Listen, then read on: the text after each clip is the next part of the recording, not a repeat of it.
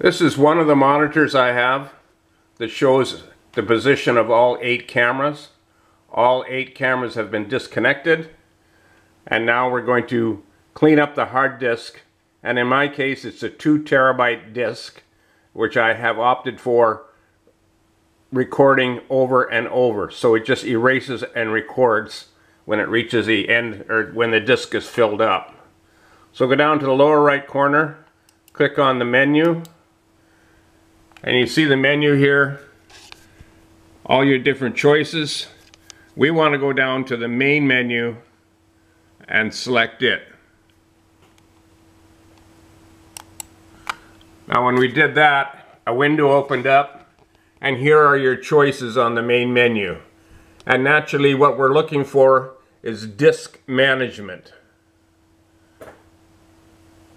Click on disk management another window opens up and this is called the disk management window. And you can see at the top I have one disk a SATA 186302 gigabytes.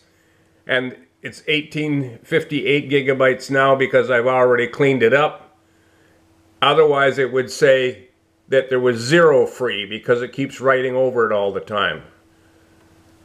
So now if I had anything on that the way to delete it would be to go over with your mouse, select the disk that I want, and you go down to the lower right corner of this window and press Format.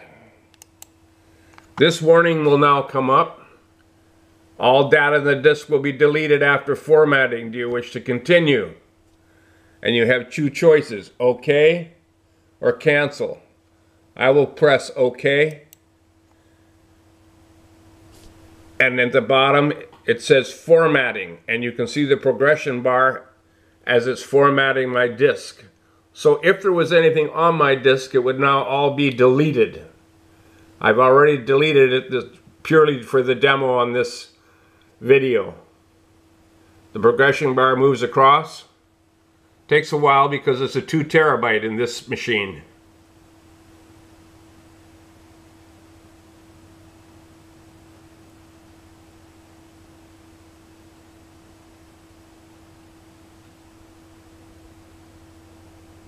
54% of the disc, 56% has been done.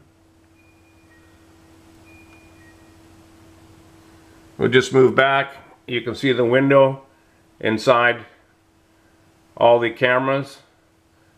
This is really made for nine cameras, but the DVR is eight. That's why you have a blank corner in the right hand side. The right hand lower corner down here is not for a camera because I don't have nine cameras. In fact, the DVR couldn't handle nine cameras, only eight. Okay, we'll go back over here where it says it's formatting, and it says formatting is finished. So now we go over, and all you have to really do is press exit, which is down here. The window opens up again to your main menu, and you want to get out of the main menu. As you saw the options before, we're not going to any of those go back up to the reverse, out. Now your disk is totally formatted, absolutely nothing on it, so none of the video that was on your cameras is on that disk again. It, there's nothing on that disk at all. It is blank and ready for recording should you want to connect it once again. Thanks for watching.